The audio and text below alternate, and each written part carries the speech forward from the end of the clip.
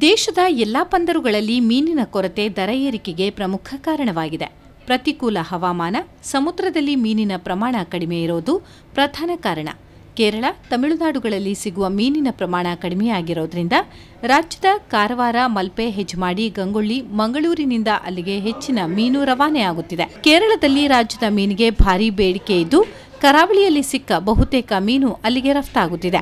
ಇದರ ಪರಿಣಾಮ ತಟ್ಟಿರುವುದು ಇಲ್ಲಿನ ಮೀನು ಮಾರುಕಟ್ಟೆಗೆ. ಜೊತೆಗೆ ನಮ್ಮಲ್ಲೂ ಈ ಬಾರಿ ಮೀನಿನ ಕೊರತೆ ಎದುರಾಗಿದೆ. ಹಿಂದಿನ ವರ್ಷಗಳಲ್ಲಿ ಸಿಗುತ್ತಿದ್ದಷ್ಟು ಮೀನು ಇದೀಗ ಸಿಗುತ್ತಿಲ್ಲ ಅನ್ನೋದು ಗಂಗೊಳ್ಳಿಯ ಪರ್ಸಿನ್ ಮೀನುಗಾರರ ಸಹಕಾರ ಸಂಘದ ರಮೇಶ್ ಕುಂದರ್ ಅಭಿಪ್ರಾಯ. ಮೀನಿನ ದರ ಏರಿಕೆಯಾಗುವುದರ ಜೊತೆಗೆ ಕೋಳಿ ಮಾಂಸಕ್ಕೂ ಬೇಡಿಕೆ ಹೆಚ್ಚಿರುವುದರಿಂದ ಅದರ ದರವೂ ಏರಿಕೆಯಾಗುತ್ತಿದೆ. ತರಕಾರಿ ದರ ಇಳಿಮುಖವಾಗುತ್ತಿರುವುದು ಸಮಾಧಾನದ ವಿಷಯ. ಎಲ್ಲಾ ಬಗೆಯ ತರಕಾರಿಗಳು ಇದೀಗ ಹೇರಳ ಉತ್ಪಾದನೆಯಾಗುತ್ತಿವೆ.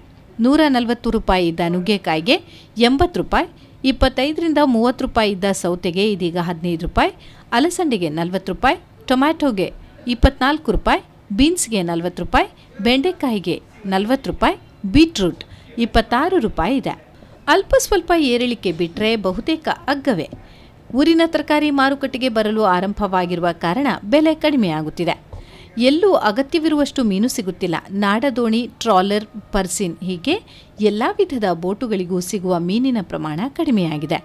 ಕರಾವಳಿಯಲ್ಲಿ ಸಿಗುವ ಅಲ್ಪ ಮೀನಿಗೆ ಎಲ್ಲೆಡೆಯಿಂದ ಭಾರೀ ಬೇಡಿಕೆ ಬರುತ್ತಿದೆ. ಹೀಗಾಗಿ ದರ ಏರಿಕೆಯಾಗಿದೆ.